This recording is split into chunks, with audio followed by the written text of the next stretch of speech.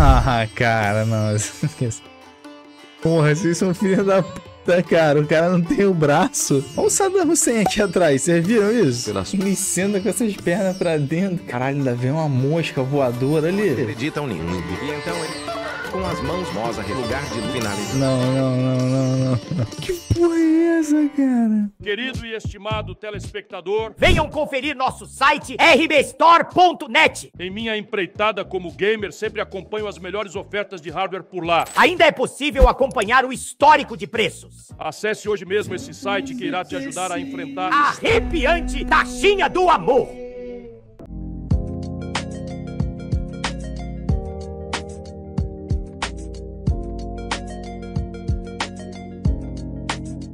É o que? Comida de rua do canal o quê? Comida de rua indiana, canal fala de tudo. É esse canal aqui? As comidas de rua mais nojentas da China, parte 2, da Índia, parte 2. As comidas da Índia. sobre a Índia aqui no. Mas uma coisa que nunca comentei foi sobre a comida indiana. Porra, cara, isso é vídeo de inteligência artificial, cara. Não acredito nisso. Meu amigo, é de uma porquice que vocês não vão acreditar. Eles preparam os alimentos pelas ruas. Ah, cara, não. Esqueci. Porra, vocês são filhos da puta, cara. O cara não tem o braço. Caralho, vocês são foda, cara. Porra, que isso, cara. Caralho. Que aqui até os ratos morrem de leptos. Aqui no Brasil, o filho da puta perde um dedinho e ganha e fica aposentado. Eles preparam os Olha o alimentos Saddam Hussein aqui atrás, vocês viram isso? pelas ruas imundas. Aí. Aqui até os ratos morrem de leptospirose. Só que eu não piso jamais e nem experimentaria qualquer coisa nesse lugar. Então resolvi mandar lá pra Índia um enviado. Tá por aí, meu viado? Oi, tô aqui sim. Tá com seguro de vida em dia? Puta Ah, tá tudo em dia. Que Então me vamos lá. pariu, que isso, senhor.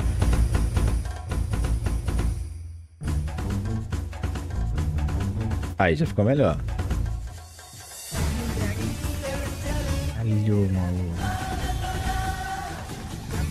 Mas conte aí para a gente como foi o seu dia indiano. Bom dormir num hotel que parece um cativeiro, cheio de infiltração e um cheiro miserável de cadáver mofado há 20 dias. Então me encontrei com o meu guia, o indiano chamado Jalin Rabei.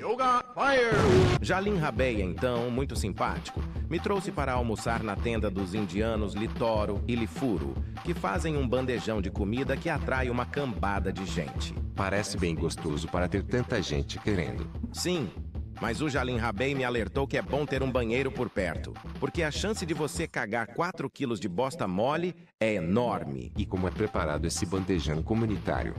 Eles preparam tudinho no penico de um obeso. Começam jogando 4 litros de xixi de cachorra no cio. É muito importante que esteja no cio. Cebolas colhidas na chácara do goleiro Bruno, pimenta verde, estala hemorroida, lascas da cruz de Cristo e farinha do Himalaia. Depois de mexerem bastante essa lavagem, eles adicionam folhas de hortelã da Somália, menstruação de idosa em pó e argamassa de obra. Após misturar tudo, nosso bandejão já está tomando forma. Só se for de vômito. Então é colocado água de pântano e leitinho de texugo. Que textura bonita que tá ficando. Meu Deus do céu. Principal do prato. 10 quilos de pica de capivara castrada, com fimose e tudo. Mais tarde eu falo desse ingrediente em detalhes. E finalmente é colocado 20 quilos de raspa de pé de andarilho, sangue de dromedário, urina de canguru e é tudo misturado. E tá pronto o nosso bandejão. Me entope as veias só de olhar. Mas é bem gostoso, na verdade. Ah é? Mas e para beber? Pois para empurrar essa massa toda você tem que beber alguma coisa. Com certeza. Tem alguma bebida local para mostrar pra gente? Bom para a minha sorte, do lado da barraca do Letoro e o Lefuro, tinha uma barraquinha aonde vendiam uma espécie de shake, que é bem típica aqui na Índia. E é bem popular também, como podemos ver esses vários limpos cavalheiros fazendo fila para tomar o shake. E qual é o nome do shake? Segundo o mestre shaker Kevin Mamar, se chama Shake Detona Toba. E como é que eles fazem? Primeiro, eles preparam os copos limpos colocando cebolas vencidas catadas do chão de final de feira, salpicam com fezes de cachorro em pó e adicionam um toque de limão podre para dar aquele toque refrescante. Tudo isso, claro, com as mãos devidamente higienizadas. Claro, O caldo marrom, então, é feito despejando nesse penico sujo água de vaso sanitário tirado desse outro penico sujo. Adicionam, então, açúcar, bastante açúcar, e colocam também rejunte de piso para dar uma engrossada na bebida. E é mexido toda essa bodega. Até ficar na cor e na consistência do que vai sair de você ardendo minutos depois de ser consumido. Por isso esse nome curioso do shake. realmente é um nome bem apropriado. O higiênico indiano então salpica mais um pouco fezes de cachorro doente, pedra de crack moída, vômito de anão desidratado e um pouco de terra de cemitério. E está pronto. Uma verdadeira iguaria indiana apreciada por muitos. Parece delicioso. Mas tem gosto de quê? De vômito, lógico, né? Já imaginava. Depois de ter tomado meu vomitinho com proteinato, resolvi andar pelas ruas da Índia para conhecer os bairros baixos e fazer a digestão. E tem bastante coisa curiosa para se ver pelas ruas da Índia. Ah, cara, não, não, não, não, não. não. Que porra é essa, cara?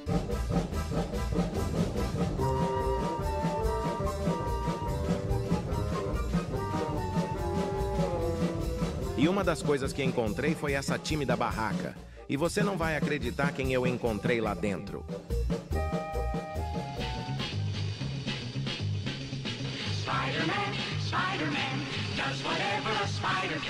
Não acredito. É a Mulher-Aranha. Ela mesma. Acredita que ela se apresenta até os dias de hoje? Fico feliz que elas ainda estão juntas. São irmãs realmente inseparáveis. Bem legal.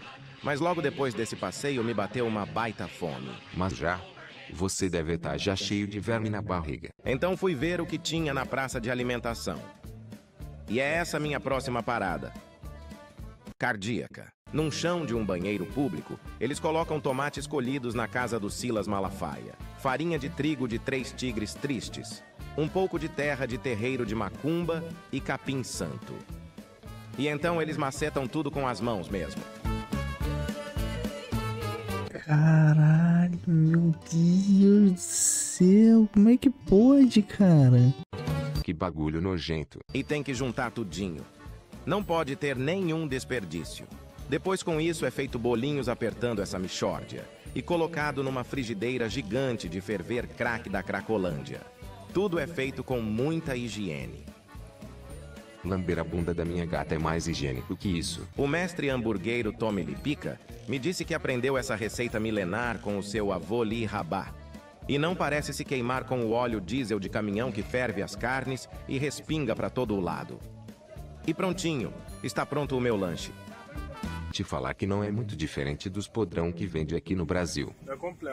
Depois me reencontrei com o Jalim Rabei e entrei no seu táxi para continuar o passeio. Ele disse que ia me levar para mais longe dos grandes centros, aonde tem comidas mais exóticas para eu experimentar. Olha só que gracinha essa moça me mandando beijo. O pessoal daqui é muito amigável. Acho que ela tá pedindo dinheiro. Ah, então finalmente chegamos em um lugar aonde meu guia me apresentou essa Esse canal é, é tipo assim, o cara foi lá mesmo, essa porra é tudo imagem que ele pega montada da internet. E monta essa edição. simpática mulher, a Tudo Madame monta. Evagina Berta. Dona Evagina logo me mostrou o que ela tinha de mais gostoso.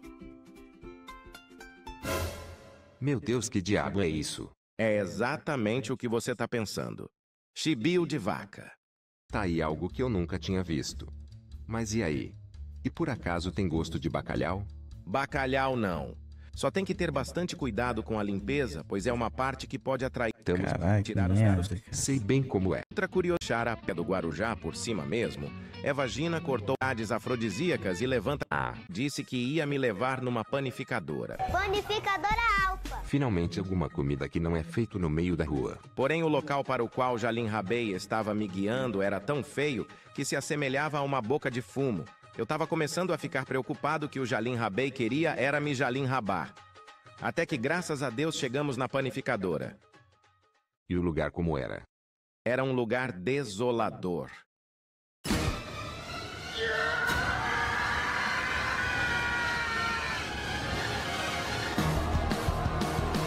Um lugar completamente imoral.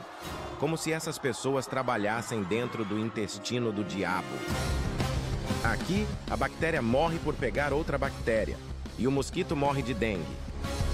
Quem sobrevive a uma mordida disso sobrevive a tudo. Meu Deus, que lugar pavoroso. Em um local que parece que uma baleia com prisão de ventre explodiu, esses profissionais, com o auxílio de uma máquina de moer minério da época de Dom Pedro, colocam a massa de biscoito de touro para bater. Esses filhos das ficam sempre sentados no chão, cara. Até que fica nessa textura e consistência cremosa de reboco de parede.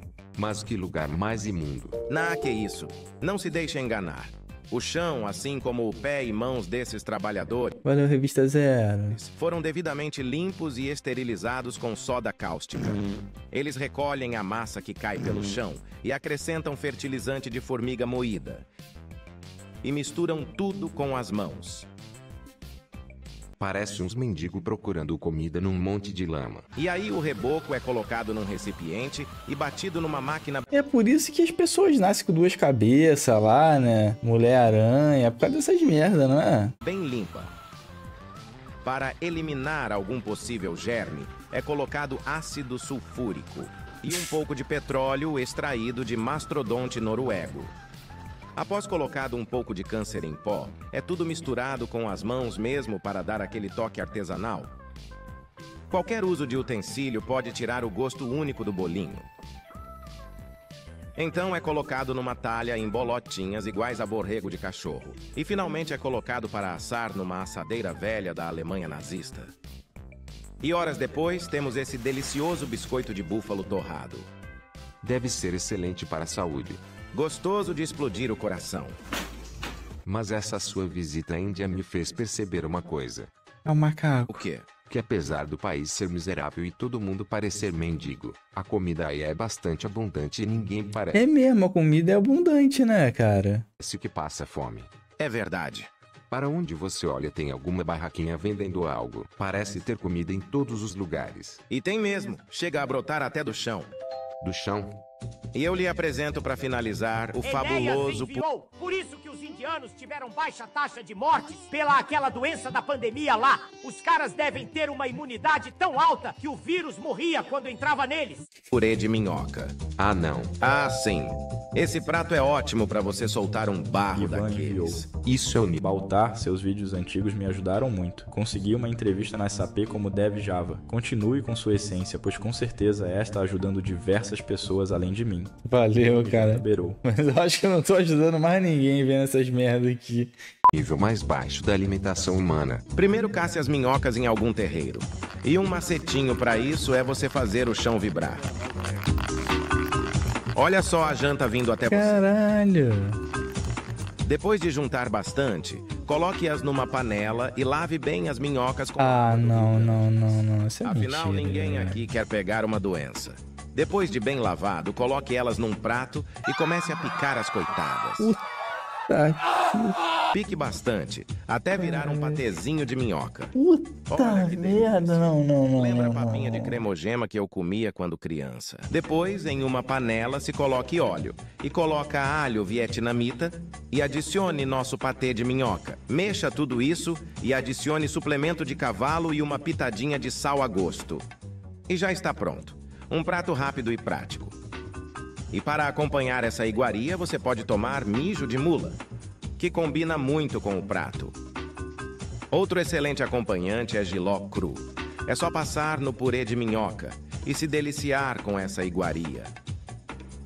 Mas e aí? Tem o gosto gostoso? Sim, é até apetitoso. Mas outra coisa que quero salientar é que eu. Eu. O que que houve?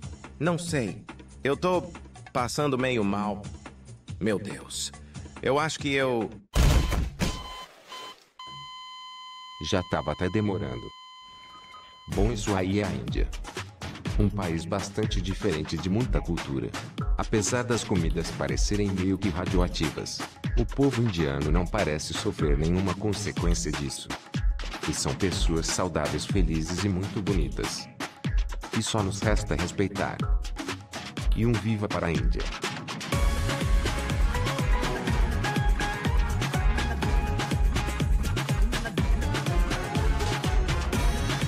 Vou ver a parte 2, vamos ver a parte 2.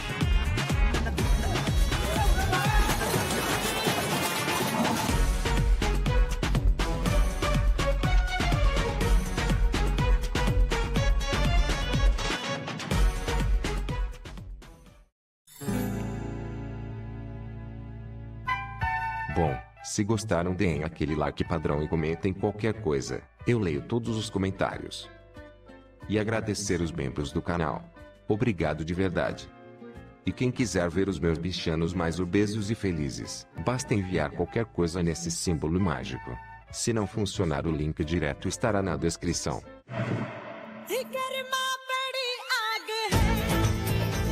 Na parte 1 vimos o quão a Índia é um país ótimo para se visitar. Mas só por vídeo. O lugar consegue ser mais sujo que pau de galinheiro. Incluindo a forma de como a comida é feita por lá. É de uma falta de higiene tão assustadora que é comer isso e sair correndo pro IML. Ou pro banheiro. E o pior que meu enviado morreu dessa comida imunda na parte 1. E agora sem ele eu... Não! Eu tô vivo aqui! Ué, mas você não tinha ido pro saco? Que nada, eu só desmaiei de dor de barriga. Acordei todo borrado, mas vivo. Ufa, ainda bem. Graças a Deus. Mas você já tá bom? Eu tô bom! Está pronto para provar outras receitinhas indianas? Sim, acho que já criei anticorpos suficientes. Então bora lá.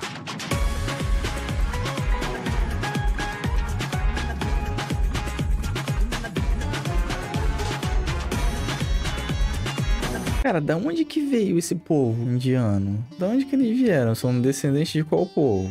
Árabe? Não, não. Não é possível, cara. Os japoneses. Mistura de asiático com africano e árabe. Ah, a Índia. Já tava com saudade. Caralho, que filha da puta, cara. A Índia. Já tava com, O barulho do, do Dalcinho, do, do elefante do Dalcinho. com saudades desse maravilhoso lugar. Dessas ruas limpas, dessas pessoas bonitas, dessas pessoas normais e, claro, da comida. Comida essa que esse povo faz seguindo todos os padrões de higiene e limpeza. Como essa feita no chão de uma rodoviária por esse indiano. Um homem tão sujo que nem o Cascão quis ser seu amigo. E por ficar tanto tempo sem banho, criou esse ingrediente único e natural de creme de prepúcio. E num penico hospitalar, ele coloca todos os misteriosos ingredientes, tudo com as mãos mesmo. E com o dedo que ele usou para coçar o seu aro, ele pega esse pó marrom cocô e joga na comida. Ah, claro, não podemos esquecer do extrato de esgoto. Isso tudo obedecendo todos os padrões de higiene local. O que já não é muito. Mas o que eu queria realmente te mostrar é que é nessas ruelas Cara, como é que as pessoas conseguem viver num lugar assim, cara? limpas e de gente simpática fora das ruas principais que você encontra as melhores comidas da Índia. Opa cocô de cavalo. Que lugar imundo. E foi nesse lugar limpo que encontrei esse amontoado de pessoas fazendo fila para comer a comida deste homem. O indiano Tim. As pessoas aqui quase que saem no tapa para comer essa famosa receita. Pô, e tem um branco aqui, ó, cara. As pessoas aqui Aqui é um americano aqui. Isso aqui é americano, né não? quase que saem no tapa para comer essa famosa receita do Tim. Nossa, quanta gente. Sim, Tim Rabei é conhecido por ser extremamente higiênico e trabalhar num lugar de luxo extremamente limpo. Olha esse chão, parece um espelho. Realmente. Mas o que é que ele serve? Ensopado de merda. Todo dia, Tim Rabei chega cedinho para trabalhar. Às três da tarde. E começa o dia rezando para todos aqueles que vão comer a sua comida. E de dentro, Ah lá, não, ele começa limpo, ele vai se sujando ao longo do tempo, ó. todos aqueles que vão comer a sua comida. Olha lá, ele começa limpo, cara. E de dentro de um cativeiro Tim e seus capangas fazem esse fast food. A comida entra e sai em segundos. E como isso aí é feito? Primeiro se traz o pinico comunitário usado pelos clientes da loja. O bom que nem precisa esquentar, pois já vem morno. E absolutamente nada é desperdiçado. Depois de despejada a diarreia dos clientes, é jogado uma lapada de capim de vegetaralho. E numa cumbuca Onde moro, Capão Redondo, São Paulo. Capão redondo é assim? feita na hora de folha de bananeira usada para limpar a bunda na roça, se bota o ensopado fecal junto com urtiga, batata palha e pão de queijo sem queijo. E já tá pronto. E todo mundo gosta. हम लोग का तो पीना इनका खाए तृप्ति नहीं होता हर Sunday Até o Honda indiano vem aqui se deliciar com a iguaria do Tim. PJLMX virou praia. Olha o TJ. E pede logo a dose quíntupla que é servido no coletor menstrual da Thaís Carla. Um verdadeiro sucesso que todos amam. Mas e você, achou gostoso? Uma verdadeira bosta. Mas se você não gostar do pão de queijo no ensopado de fezes, temos uma alternativa que fica na mesma rua. O pão de queijo mergulhado ao mijo do Shrek. Cara, que desgraça verde é essa, cara, que eles Meu botam... Deus, saiu do buraco de trás pro buraco da frente. Receitinha essa criada pelo indiano Jalam Bichota, que também é um sucesso por aqui. Imagino. Mas me diz aí como se faz esse pântano de ensopado. É bem fácil. Em uma bacia de lavar roupa se começa colocando água de chuva, gesso esfarelado, raspas de parede de hospício. Após isso, se põe uma jarrinha de água de aquário de sapo. E então somente um pouquinho de leitinho de tomanduá bandeira macho. E aqui vem o ingrediente principal: mijo fresco de xerec e uma pitada de piolho de careca. Agora é só colocar uma pedra de gelo da era do gelo e mexer com as mãos.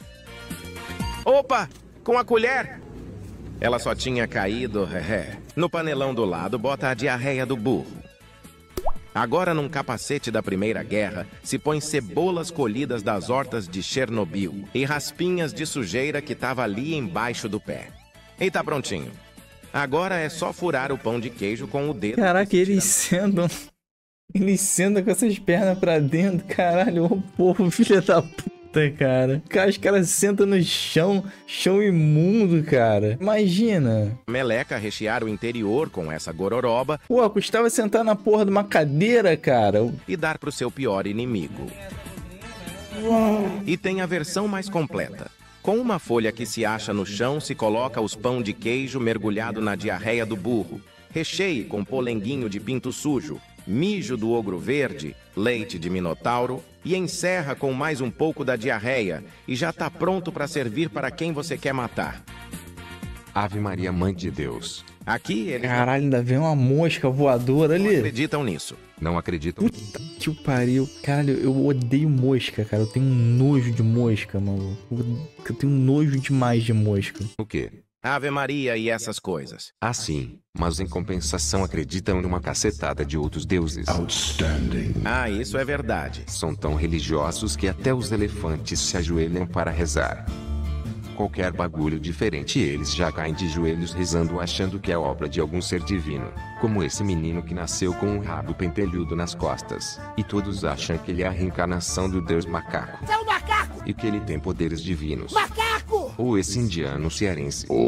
As pessoas passam por ele rezando como se ele fosse alguma divindade. Então a regra é clara: nasça deformado e vá para a Índia que você vira celebridade. Pois é, os indianos usam a ignorância dos crentes para ganhar dinheiro. Edir Macedo iria ficar trilionário aqui. É bem por aí. Mas falando nisso, tem uma Caralho, meu Deus, cara. Que porra é essa, maluco? receita de comida aqui na Índia que é considerada milagrosa por quem come. Receita milagrosa? Essa é a famosa receita destranca tripa. Ótima para quem tem intestino preso, pois isso aqui solta até a alma. Ela promete acabar com todos os seus problemas. Até porque não tem como ter problema. Matheus Carvo virou praia. Valeu, Matheus. Caraca, não tô Problema conseguindo ver essa porra não, Meu cara. Deus, não dá nem para entender o que é isso. Sim, é uma comida para quem já conheceu de tudo e agora quer conhecer Jesus. Agora entendi o porquê que chamam ela de milagrosa. A receitinha começa macetando o alho que foi usado para matar o conde Drácula. Note a posição que o sujeito está sentado. Já na posição certa de soltar a qualquer momento o ingrediente secreto. Enquanto isso, na panela do Dom Pedro I se coloca óleo motul 5W40. Enquanto isso, são lavadas as cumbucas em barro em água usadas de chuca.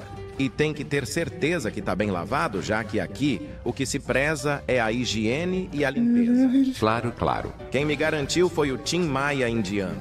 Jalão teta preta, dono do lugar. Ele me disse que aqui todos prezam a limpeza e que os funcionários trabalham uniformizados.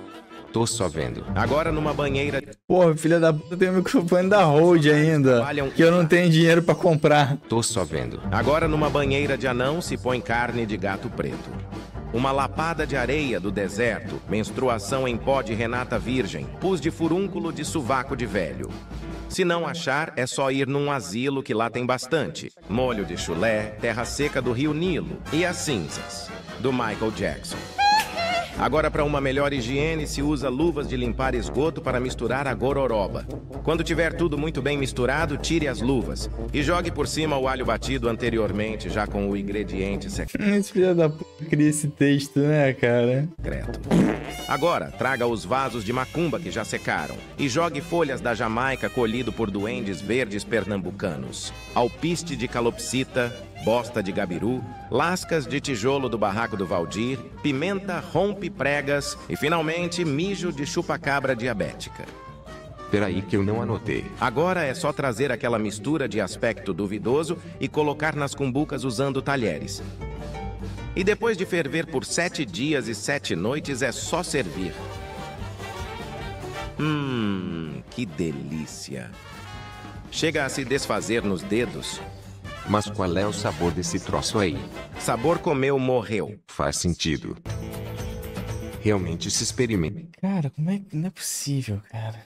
de tudo aí nesse país. Aqui pra onde você olha, sempre tem alguma coisa diferente pra Caralho. se olhar. Olha o Pranchana Jack aí. Mas vem cá. Fala. Você só mostrou comida bizarra que parece lavagem de porco. Não é culpa minha. Não tem nenhuma comida normal. Algo que a gente conheça. Algo mais brasileiro. Hum, pior que tem. Aqui na Índia também se faz rapadura. Sério. Finalmente. Só que a fábrica de rapadura fica um pouquinho longe. Então vou ter que pegar um trem. Entendi. E a Índia é famosa por ter um excelente sistema de transporte, aonde é tudo muito bem cuidado, seguro e organizado. Ué, por que que a tela ficou toda escura?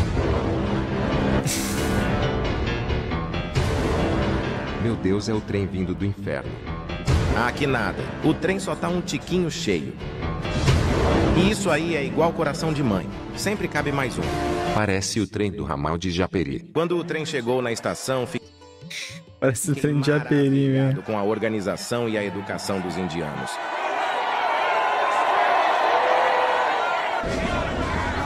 Mas consegui entrar tranquilamente. E assim segui viagem confortavelmente. Olha só quanta gente simpática. Parece um presídio. O maluco tá numa, numa rede, E as portas cara. sempre abertas, para garantir a ventilação e o frescor da viagem. Deve ser para ninguém morrer sufocado pelo fedor de carniça de urubu. E também é ótimo para se apreciar a incrível vista dessa beleza que é a Índia. E para quem estava curioso de saber como é o banheiro do trem indiano, ele é assim. É só se agachar e relaxar que o tolete cai direto nos trilhos. Realmente é muito prático. O que é prático mesmo é o trem que para no meio do caminho para que os passageiros saltem mais perto de suas casas. Assim as pessoas não precisam saltar lá longe na estação e ter que ir andando para casa correndo risco de ser assaltado pela rua. O povo indiano é muito inteligente e preza muito pela segurança. Mas finalmente cheguei na fábrica de rapadura. Isso é uma fábrica. Sim. E esses são os funcionários. Mas que nojeira é essa? Esse é o jeitinho indiano de fazer rapadura indiana. E como você pode observar que tudo aqui é feito com completa higiene e fiscalização. Olha que prensa limpinha. Parece até que é lavada todo dia. Pega o cancro duro só de olhar isso. E o processo de fabricação é bem interessante. Primeiro, os indianos catam cana-de-açúcar de um terreno baldio de desova de corpos do Comando Vermelho. Depois eles moem a cana nessa prensa limpa da época da escrava Isaura. Enquanto a cana é moída, eles pegam uma piscina de criança da época da vovó Jerusca para usarem como panela. Perceba aqui que eles usam o cano da água da descarga dos vizinhos para ungir o panelão. para dar aquele gostinho, hum, especial. E com um balde de tinta, eles adicionam leite de jeba. E novamente quero ressaltar o nível de limpeza e higiene que eles trabalham. Eles têm até o cuidado de tirar o excesso de bosta que saiu do cano de descarga. É realmente impressionante. Enquanto isso, um dos doceiros que mais se parece com um mendigo fica alimentando as chamas do inferno, tacando lixo por debaixo do panelão.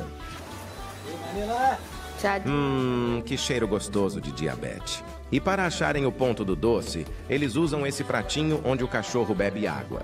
Até que o caldo fica com essa cor e consistência de diarreia de um elefante doente. E na hora de informar o doce, é de extrema importância que os pés estejam bem limpinhos. Vejam o pé desse homem, todo branquinho de limpo. Então é colocado os doces no chão sujo e está pronto a nossa rapadura indiana sabor diabetes tipo 2. Minha artéria entope só de olhar. E acabou o dia aqui na Índia. Que dia mais agradável. Mas não são nem 5 da tarde. É que a luz do sol se apaga mais cedo devido à poluição. E parece que à noite as ruas da Índia ficam bem mais tranquilas do que durante o dia naquela surubada de gente. Sim, mais tranquilo que pernilongo em quarto de surdo. E também não fica aquele monte de comida nojenta por toda parte. Mas como não? A comida tá bem na sua frente. Aonde? Não tô vendo. Tá bem ali. Bem pertinho do poste. Peraí. Você não tá querendo dizer que. E pra finalizar, eu vou te mostrar a sopa de siriri. Ah, não, cara. Isso aí já é sacanagem. Sacanagem é o que o cavalo fez com a égua. E siriri é aquele bicho chato pra cacete que fica fornicando na luz em dia de calor. E ele é o ingrediente principal da nossa sopa maneira. Só se for sopa de caganeira. Depois de ter recolhido os 200 milhões de cupins que caíram em volta de um poste mijado, eles são lavados com água de dengue. Acho que tem muito pouco cupim aí. Também acho. E é por isso que ele tá pegando mais dessas crias do diabo para dar mais consistência pro nosso sopão. Olha só a alegria do cara em ver a comida voando. É tipo presenciar um milagre. Agora sim tem bastante. Depois de enfiar a mão na bunda, coloque nossas vítimas de cupincídio recém-lavados no pinico do Kung Fu Panda. E dali, bote eles numa mesa de necrotério, para que sequem naturalmente no sol. E tem que deixar eles bem espalhadinhos para secarem uniformemente. Enquanto as baratinhas secam, é hora de preparar os outros ingredientes: capim de cavalo, cebola de oferenda, pimenta peida, sangue. Numa antena da Sky se coloca baba de bode recém-parida e todos os ingredientes anteriores. Uma pitada de areia de gato, soda cáustica para eliminar alguma bactéria e só um pouquinho de urina de idosa. Daí é só pegar os falecidos siriris, jogar em cima e misturar tudo. E já tá prontinho. Agora é só servir numa chapa de madeira suja e se deliciar com essa iguaria. Veja só que crocância. Prefiro morrer de fome. Mas deixa eu te contar. Conta aí. Você sabia que tem um lugar no mundo que é até bastante comum comer insetos e outros tipos de comidas assim? Ah, é? Qual lugar? Lá na China. Ah. Eu sabia que você ia falar isso. Inclusive, A música. essa será a minha próxima parada na saga das comidas exóticas. Eu até já andei fazendo curso para aprender a falar em chinês.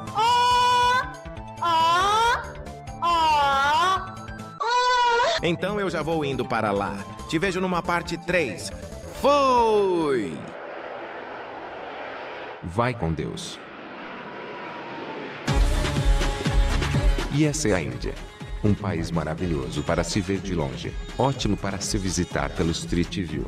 E se você dar uma de maluco e for, vá com o seguro funerário um dia. E como sempre, um viva para a Índia.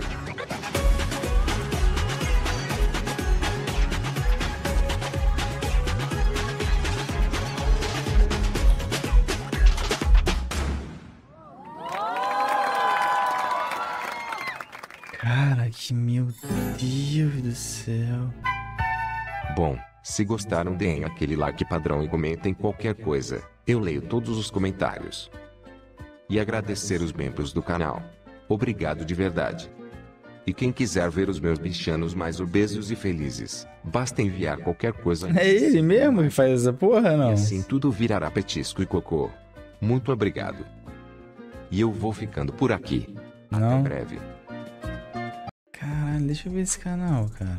Pessoas mais burras do planeta. Melhores momentos do canal 2023. Os momentos mais vergonhosos do esporte. Pô, mas vou te falar, deve ser difícil fazer um, um canal desse, cara.